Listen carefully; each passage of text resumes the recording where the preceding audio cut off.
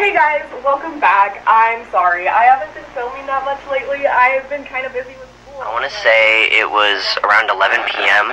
We got like a really panicked phone call from Megan Davis. It's been two years since he left. I think I, I have a feeling about what happened, but I'm really not too sure.